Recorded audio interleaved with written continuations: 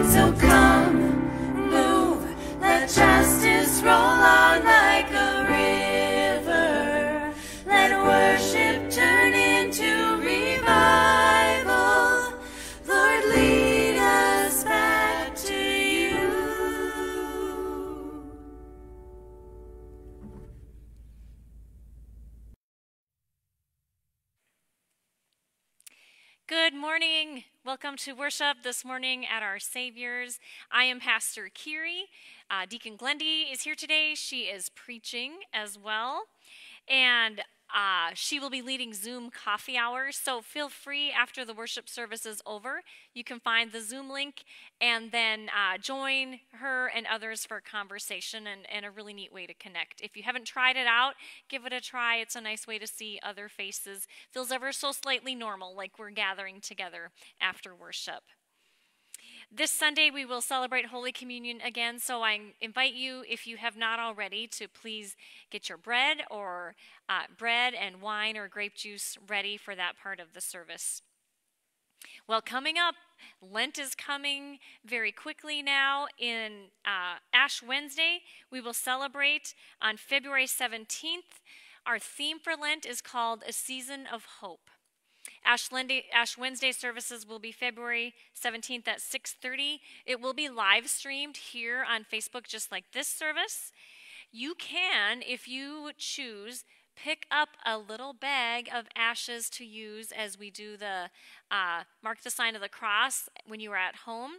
If you're not able to come pick up ashes, we invite you to get uh, either a little dish of olive oil or water ready. We'll be making a sign in any of those different ways this year together. And then Wednesdays, the rest of the Wednesdays in Lent, for our season of hope, we are delighted that we will have different families from our Saviors who will be sharing their stories of hope in this time. Uh, Wednesday, Lent, Lenten worship starting on February 24th will be at 6 p.m., and that will premiere on all of our channels at that time. Well, it's been a delight these uh, last few weeks to have a video from uh, people of our Saviors to hear their connection point. And so this week, it's one of our staff members, Lori Vikstrom.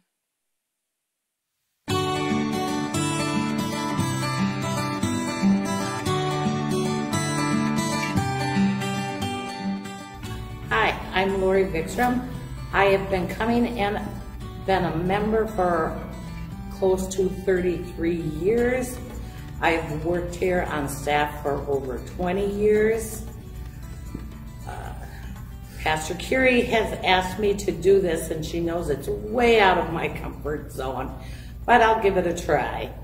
Um, what's been hard during this pandemic for me and my family is not all of us being together as a big whole, you know, we have the fam- smaller family get-togethers, uh, but not being able to continuously be with, do family vacations, uh, big family get-togethers, has been really hard as uh, we're pretty family oriented and we pretty much live in each other's pockets.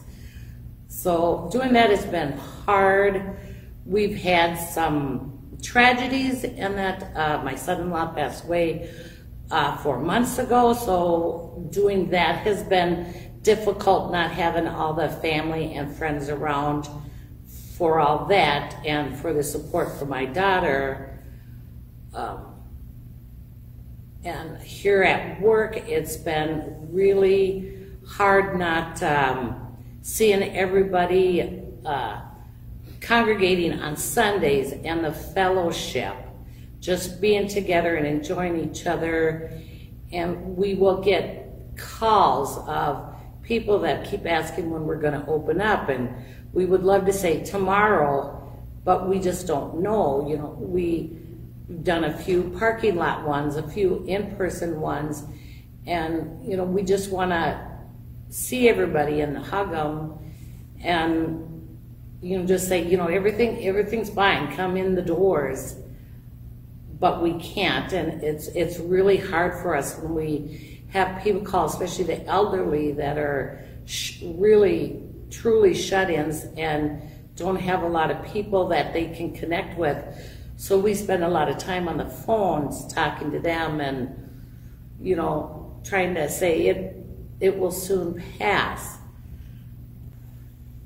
what has brought me hope during this pandemic and probably joy is watching families reconnecting, uh, just spending time with each other at home. talking, sitting together on the couch, watching movies, sitting at the table playing games and puzzles, and just taking little backyard vacations uh, since they couldn't go anywhere. Um, people reaching out and helping other people. Um, here at church, you know, we've all been blessed with all the generosity of people making sure our church stays successful and keeps growing. That families are just just continue to keep connecting with friends and family through phone, through Skyping, through Zoom, uh, just phone calls. My faith has uh, sustained me for, for many, many years, not just through this pandemic. Um, I've had quite a few tragedies in my life with my family, from losing two children to losing my son-in-law to uh, a dear friend that we just lost due to COVID and medical complications, um, to parents, and watching friends struggle with mental illness if it wasn't for my faith, I wouldn't be able to get through all that. You know, God has got his hand on my shoulder and he's got it on all your shoulders. You just got to trust in God and we will get through this and we will have it all noisy in this building again. That's what we're praying for. That's what we're looking forward to. And we can't wait for it to happen. So hope to see you in live and in person very, very soon.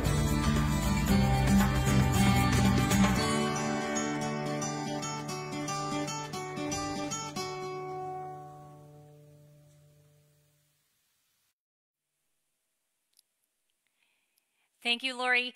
Lori is our building manager here at Our Saviors, and if you know her, She's a lot of fun. So, our, our joke uh, last week after she made the video was with this new fame of hers, we may need extra parking lot security for all those who might be coming now to get her autograph. So, uh, thank you, Lori, for making that video, being part of this worship service. We continue with the first reading, which is from Psalm 147. Praise the Lord. How good it is to sing praises to our God. How pleasant and fitting to praise him. The Lord builds up Jerusalem. He gathers the exiles of Israel. He heals the brokenhearted and binds up their wounds. He determines the number of the stars and calls them each by name. Great is our Lord and mighty in power. His understanding has no limit. The Lord sustains the humble but casts the wicked to the ground. Sing to the Lord with grateful praise. Make music to our God on the harp.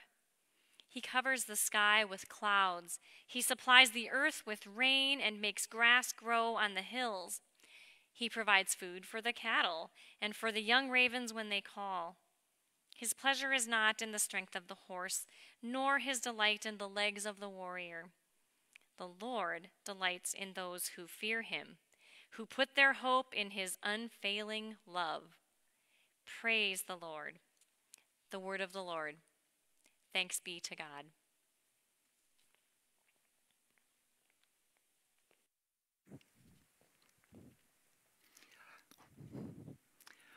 Well, I'd like to invite the children to turn your attention to the screen or to slide a little closer for the children's message.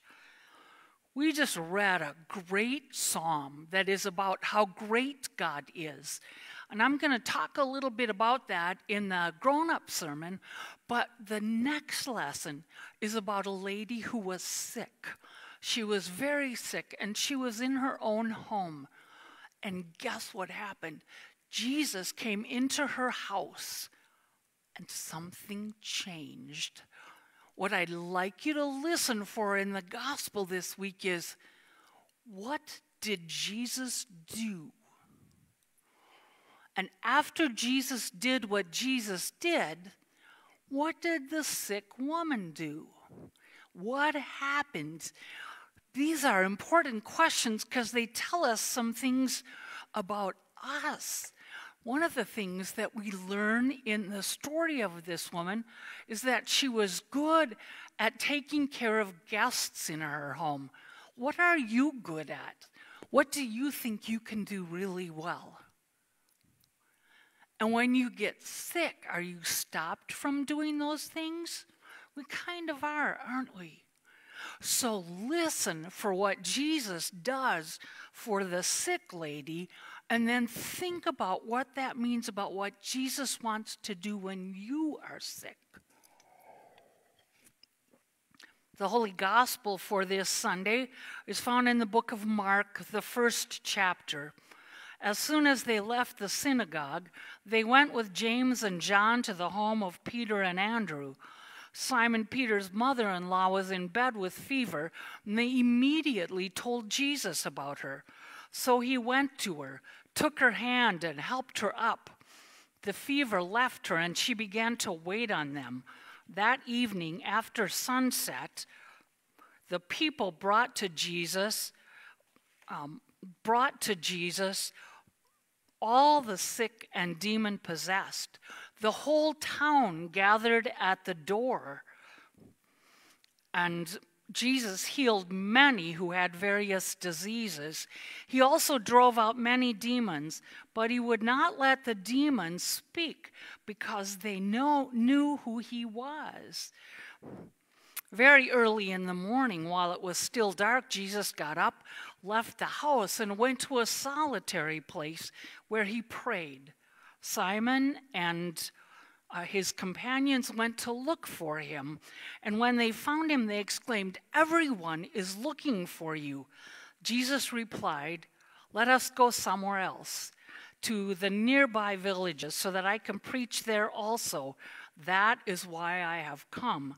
So he traveled throughout Galilee, preaching in their synagogues and driving out demons. The gospel of the Lord. Thanks be to God. Well, as Pastor Curie pointed out in her sermon last week, the Gospel of Mark is filled with stories and it moves at a really fast pace.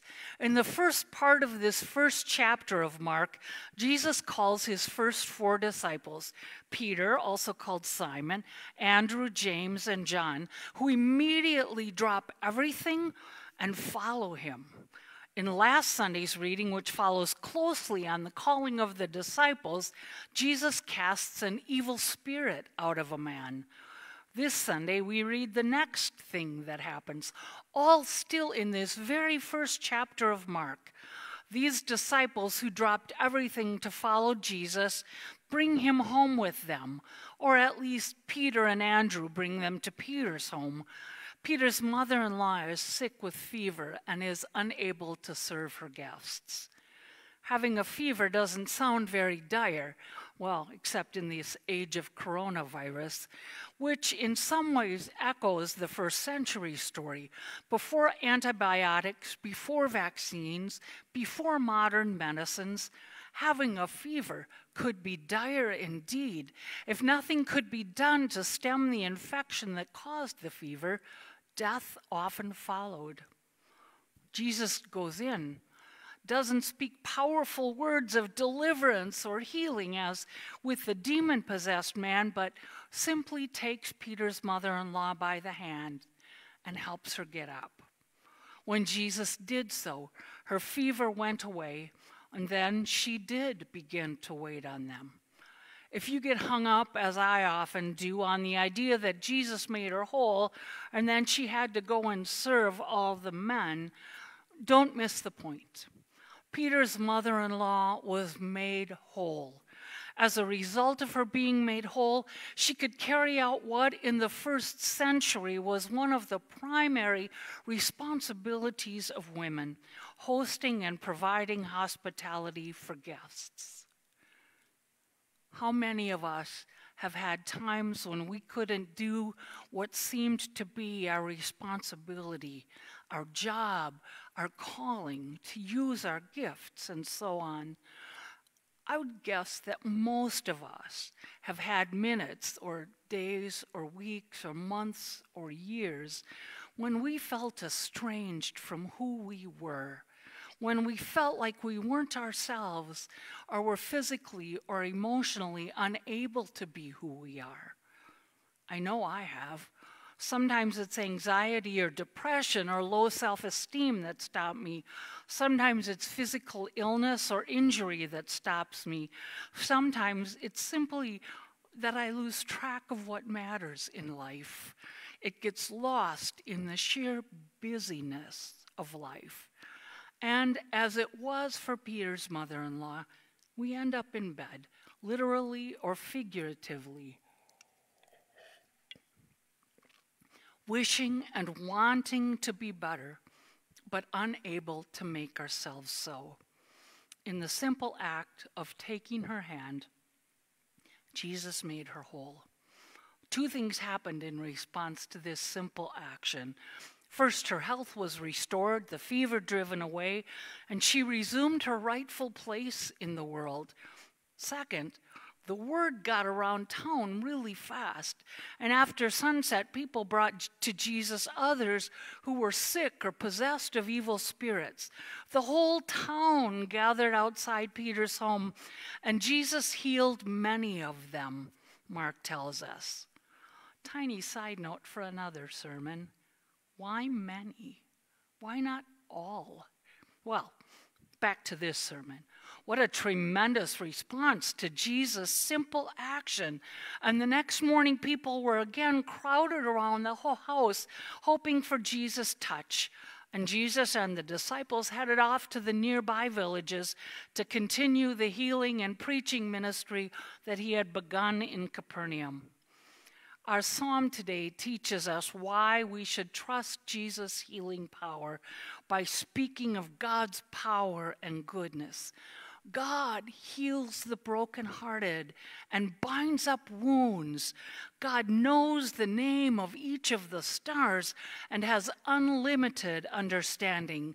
God covers the sky with clouds, supplies the earth with rain, and makes grass grow on the hills. God provides food for cattle and young ravens when they call. The Lord delights in those who put their hope in this unfailing love. The God who does all this as an ongoing, on an ongoing and continuous basis can be trusted with our cares, our sense of distance from ourselves, our doubt, our fear. The God who knows and understands the natural world also knows and understands each of us to our very core. This God invites us into relationship from the dripping waters of baptism all through our lives. God is present. And in Jesus, this God comes to us as Jesus did to Peter's mother in law to help us become ourselves, to find our true selves, our true life in His life. This isn't just or even primarily, an encouragement towards self fulfillment or self actualization. This is God's invitation to become fully who you are meant to be and to do so in a way that sets you free to serve. God in Jesus reaches out to you and me and offers healing and wholeness, peace, forgiveness, mercy, love, and grace. Receiving these gifts, we, like Peter's mother in law, reach out in love and service to one another and to the world. Yesterday in New London, we buried a dear friend and colleague of mine going all the way back to 1985. Our paths ran parallel for many of those years. When I moved back to the Twin Cities from Chicago in 2001, Dell and I stayed in touch. In 2015, he made me promise that I would preach the sermon for his funeral whenever that came. And so it came. Delwayne's strict instruction was don't talk about me. Talk about the resurrection. Preach your best Easter sermon. So I started my sermon by apologizing to Del Wayne and talking about him a little bit. One of the things that I talked about was Del, Del's deep and abiding love of God, the genuine combination of a fierce intellect and a profound but simple certainty that the words that formed the basis for his faith were true. Jesus loves me. This I know. Del said that was the core of what he believed, and that song was sung at his funeral. His life reminded me of that reality that we are made to love and serve God. And in loving and serving God, we love and serve the world that God has made. The first presiding bishop of the ELCA was Herb Chilstrom, and he was your bishop before he of Minnesota uh, in the LCA before he became the first presiding bishop of the ELCA. Herb longed to come up with a sentence or a phrase that would describe who we were as Christians. And in 1990, he did. That phrase was that we are a church so deeply and confidently rooted in the gospel of God's grace that we are free to give our lives in witness and in service. We, as with Peter's mother in law, are healed not only for our own sake, we find the fullness of life in service. It's something that I think we as a congregation are particularly good at, honestly. We are we engaged in layers and layers of ways of serving, from our giving to our volunteering, to our caring and love for one another, for those outside our congregation. As I've lived with you and walked with you and loved you so much for the last eight years, I want you to know that you have touched my life with your faith and your service. You have changed me.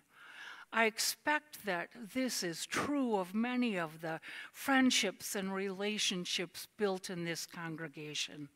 I believe, I'm sure, that you will keep on being those kinds of people, that kind of church that doesn't exist for its own benefit and its own satisfaction. Having experienced God's love and grace, you will continue to reach out, as Herb said, in witness and in service, like the disciples, like Peter's mother in law, and like Christians everywhere it's who God has made you to be. Amen.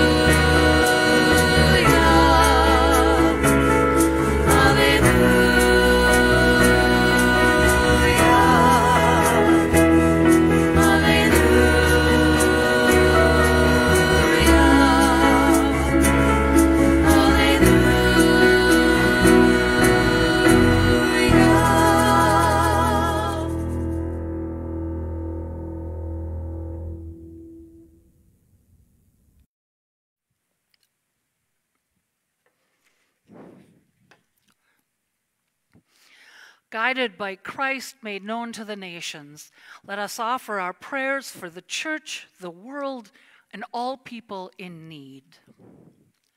We pray for the church, for ministries of healing and wholeness, for hospital, hospice, and military chaplains, for those serving in prison ministry, for all who proclaim freedom and release in the name of Christ. Lord, in your mercy, hear our prayer for the nations, for all who lead in cities and towns, states and countries, for community organizers, school officials, and CEOs, for international health organizations, that in times of trial, fear, or hopelessness, they find freedom in service to those most in need. Lord, in your mercy, hear our prayer. For all wearied by life's burdens, for those who are poor, for those lacking supportive relationships, for those crushed by debt, for those struggling with chronic pain or other sickness, for those exhausted from overwork or stress, and for all who cry out to you, especially Jackie Basney, Wani Johnson, Keith Hammerbeck, Dan Sloniker, Audrey Lundstrom, Becky Beck, Sherry Allensbach, Jim Berman Sr., Laura Gibney, Donna Nelson, Carol Gordon, Muriel and Burdell Bone, Parker, Roy Reichow, and those we name in silence. Lord, in your mercy, hear our prayer in thanksgiving for the faithful departed who were called by name and now rest from their labors, that their lives serve as witnesses to the goodness of God. And for those grieving lost loved ones, we pray. For Patty Otto and her family at the death of her husband Brian. For Sue and Tim Casey at the death of Sue's brother in law, Don Scrivseth. For Bonnie Grant at the death of her mother, Eileen for Karen and Steve Berg at the death of Karen's mother, Ruth. Lord, in your mercy, hear our prayer. Merciful God, hear the prayers of your people, spoken or silent, for the sake of the one who dwells among us, your Son, Jesus Christ, our Savior. Amen.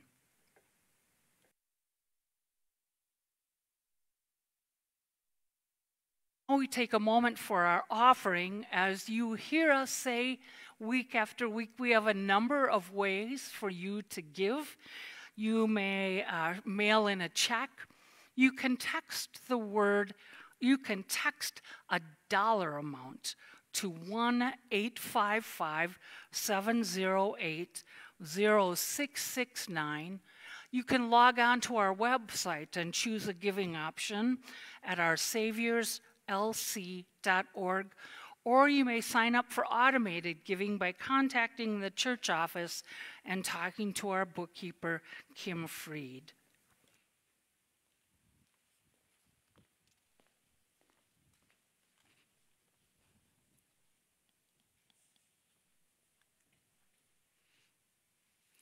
We give thanks for the gifts that you offer, and let us give thanks to God for what God has given us. Let us pray. Gracious God, receive the gifts we bring ourselves, our time, and our possessions. As we share this meal, unite us as one in you. Amen. Well, it is time for communion, so if you have got communion elements, it's time uh, you can get them at hand as we share in this meal together.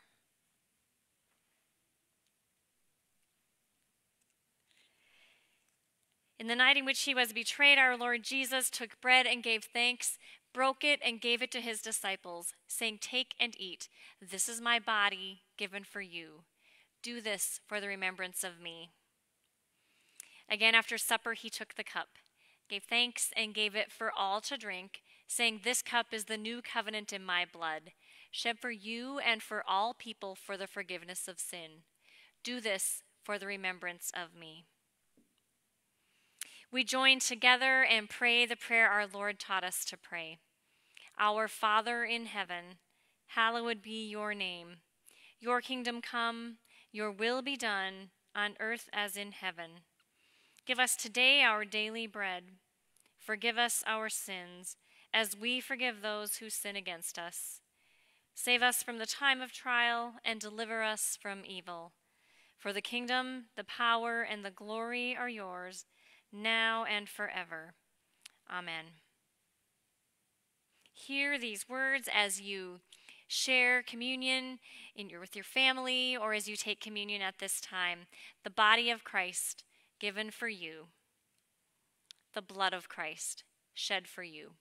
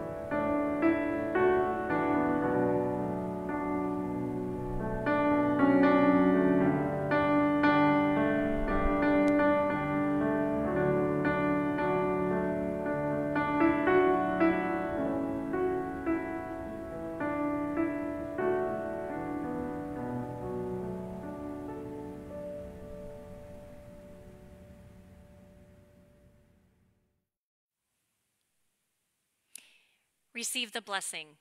The body and blood of our Lord Jesus Christ strengthen you and keep you in his grace. Amen. Let us pray. God of grace, you have refreshed us with this heavenly food. Send us forth strengthened in body and in spirit to proclaim the good news of Christ and to serve others in his name.